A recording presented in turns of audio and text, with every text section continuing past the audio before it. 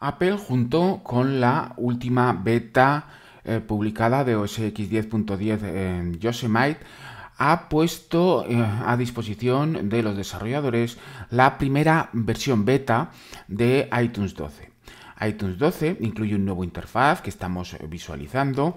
Eh, es muy parecido a la versión anterior. Incluye eh, como novedad específica la posibilidad de identificarnos directamente en la iTunes Store desde la barra de eh, manejo, desde la barra de herramientas central de iTunes, pero dentro de estas características incluidas como este nuevo interfaz o como el nuevo Em, sistema o nuevo cuadro de diálogo de información de archivos ha incluido un constructor de listas mucho más eficiente. Vamos a ver cómo funciona esta característica. Para empezar, cuando nosotros accedemos a iTunes, disponemos de una barra de herramientas. Vamos a acceder a nuestras listas en playlist y el constructor solo funciona con listas físicas, es decir, no funciona con listas dinámicas. Así que podemos elegir, por ejemplo, una lista, vamos a elegir eh, cualquier lista, por ejemplo, esta lista, y lo que queremos es añadir más canciones a esta lista utilizando el constructor. Eh, para ello nos dirigiremos al botón Add Do. De momento iTunes 12 solo está en inglés, y accederemos, veremos cómo se desplaza el interfaz a la izquierda y tenemos aquí una lista eh, que es la lista de las canciones de la lista que hemos seleccionado. A partir de este momento podemos empezar a añadir canciones.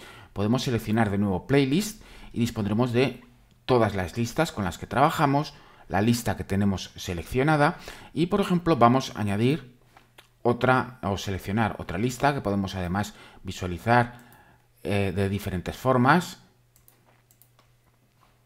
seleccionar y podemos pinchar y arrastrar la nueva lista. Así podemos construir de forma mucho más fácil eh, listas y mantener el orden en vez del sistema tradicional que era arrastrar canciones directamente, por ejemplo, seleccionar varias canciones y arrastrar a una lista. Bueno, pues ahora simplemente no tenemos más que pinchar y arrastrar a esta lista y eh, directamente mantendrán, eh, mantendrán, el orden o incluso podemos pinchar y arrastrarlo para eh, rápidamente construir una lista, una nueva lista, visualizando los contenidos de diferentes listas. Si podemos acceder a las listas, por ejemplo, dinámicas y pinchar en un elemento y arrastrarlo directamente a la nueva lista Ahí tenemos añadida, por ejemplo, esa nueva lista.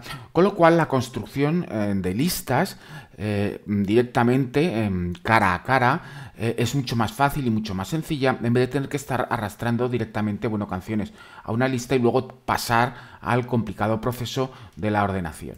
Una vez hemos terminado le diremos Done y esa lista, esa nueva lista, estará disponible con todas esas canciones Vamos a verla como grid ya tenemos aquí junto con las canciones que hemos añadido. Así funciona el nuevo sistema de listas, eh, de creación de listas, eh, mucho más cómodo que la versión anterior y que se ha añadido como característica mayor en iTunes 12.